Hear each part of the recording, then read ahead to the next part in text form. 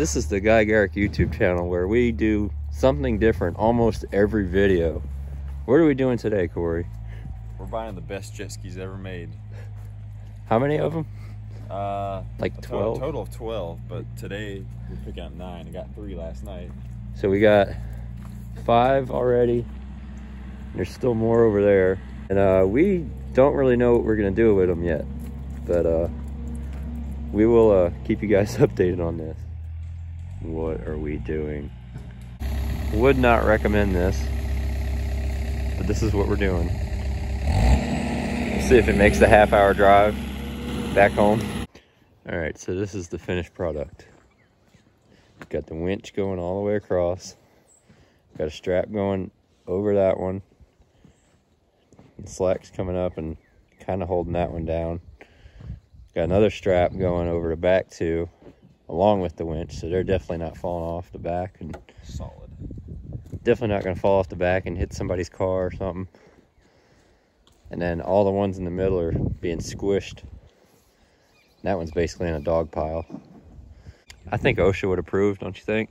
I think so. Or what is it? The I IIHS, International Highway Safety something? Yeah, uh, DOT. DOT. DOT approved. So we're gonna see what we can go do with these things.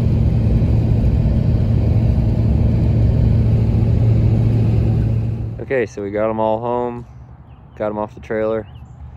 He also got these last night. Yeah, the trip went pretty well. Uh, cut to the clip. Oh no. I hope I don't knock over the cones with my jet skis. Oops. what we found these were the two i was originally the most interested in just because they're biggest.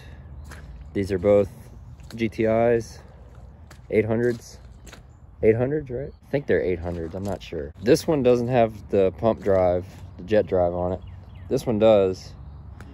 The motor has a it looks like it's got a fresh top end on it but it turns over a little stiff so I don't know. There's no telling how long it's been sitting. So this may be a runner. Only obvious problems other than the seat. Starter button's missing, but it does have this. Somebody put this button in there, so I'm guessing that's the starter button. It'd be pretty nice to have because it's got a, it's technically a three-seater. But it probably won't be very fast.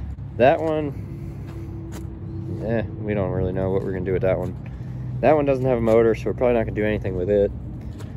This one, Corey likes this one. He wants to try and get it going, but the motor's locked up on it. So, uh, this is the cleanest one out of all of them. But the motor's locked up. So, there's that. I like this one a lot. I'm going to probably try to get this one going. Uh, this one, well, actually, I say the motor's locked up.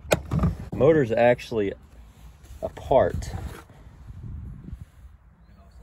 and also locked up. Yeah, the bottom end's absolutely no good on this. It's full of water. We got boxes here with new gaskets and some new pistons. So somebody was trying to rebuild it at some point, but they let it sit for too long, or they took it all apart and found the bottom end to be no good, one or the other. So this one, it's just too nice. So we're gonna try and swap a motor into it, I think, because it's the nicest one of them all. We can't just let it rot. Uh, these, all of them except for which ones? Uh, this one's locked up. That one's locked up. That's an 800. That one on the end's locked up. Yeah. The one there is locked up. And then that Yamaha has no motor. So what we're probably gonna do is take one of the motors out of one of the good ones, or one of the not so good looking ones that have a good motor, Like that one, that one, or this one. and put it into this one. Or what I was thinking, these two yellow ones are 800s. So they're bigger motors, they're just mounted a little different.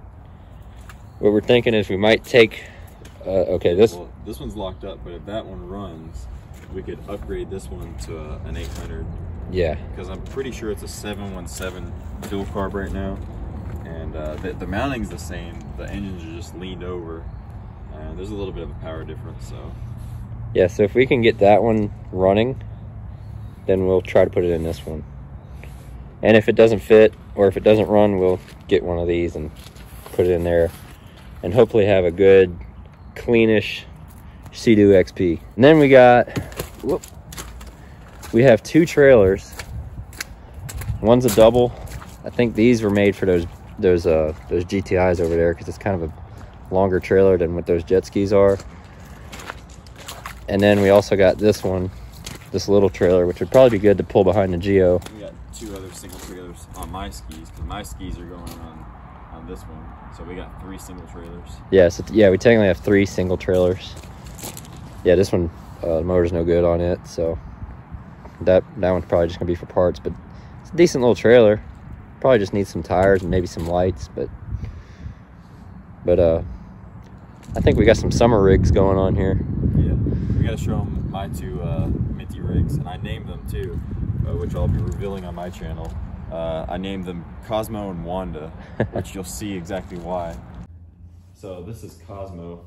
It's a 93 SPX uh, dual carb, and it's extremely clean, except for when I had it outside in a cover for a little while, the, uh, the thing up here deteriorated. So I just deleted it and made the, the wiring and stuff nice and clean, which I kind of prefer anyways, but it's it's pretty clean. I mean, it's pretty shiny, you know. But if you Runs think- good, too.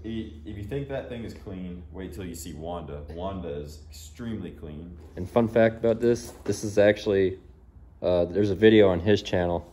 First time I ever rode a jet ski was this one right here. Look at that. He's a natural. Chopping waves. Is he gonna go in for a spin? Oh yeah. Nice. Now this here is Wanda. And I just got it a couple days ago. Look how shiny this unit is. This thing is truly almost minty. Besides a couple little things like It's purple. the the mirror is missing Oh. and the little straps that that open and close this deal are you know broken but that's just from age other than that this thing is extremely clean now this is an sp and i don't know for sure yet but i think the sp has the 580 and my spx has the 587 so they're basically absolutely identical It's Other not a- that, they're identical It's not a slanted motor. no, no, it's Okay. a, a, you know, Inline, standard straight yeah, inline yeah. one. Uh, but this is a '92 model, so and it's really, really rare to see one of the purple and pink ones in this condition.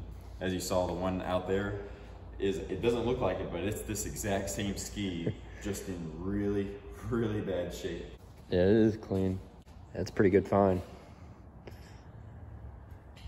Well, stay tuned. We'll uh, hopefully have some of those other jet skis out there that kind of look like jet skis but kind of don't anymore.